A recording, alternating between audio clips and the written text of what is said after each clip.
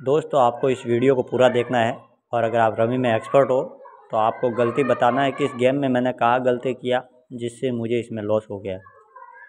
तो चलिए game start हो गया। आप पूरा वीडियो देखिए और मुझे कमेंट बॉक्स में गलती बताना।